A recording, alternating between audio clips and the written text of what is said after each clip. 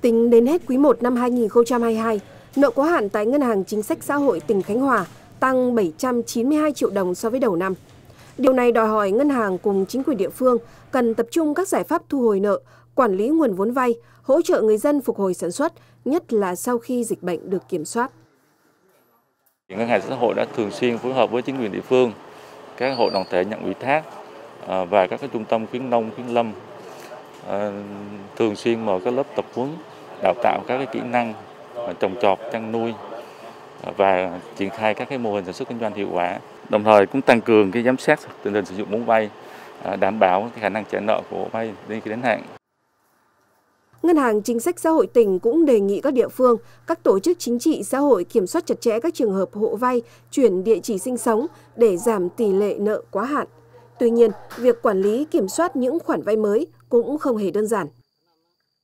Các hộ dân vay vốn để thực hiện cái công tác mà phát triển kinh tế xã hội á, thì theo quy trình cũng như là theo cái sự chỉ đạo của các vị đảng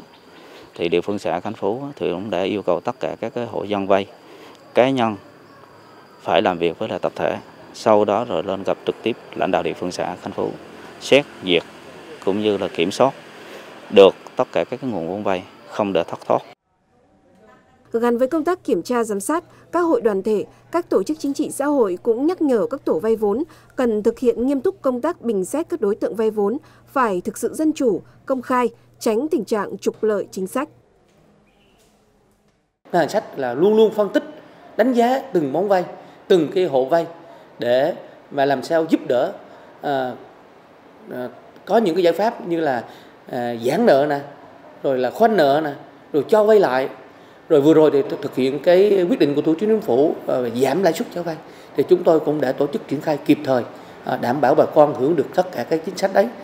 Và chúng tôi, đối với những cái món vay ờ, những cái hộ mà người ta đủ điều kiện để xử lý rủi ro, thì chúng tôi cũng đã lập hồ sơ, trình các cấp có thẩm quyền để xem xét xử lý rủi ro cho các đối tượng này. Và chúng tôi cũng sẽ tiếp tục tạo điều kiện cho những hộ này tiếp cận, tiếp tục nguồn vốn để mà phát triển sản xuất kinh doanh, phát triển kinh tế hộ gia đình.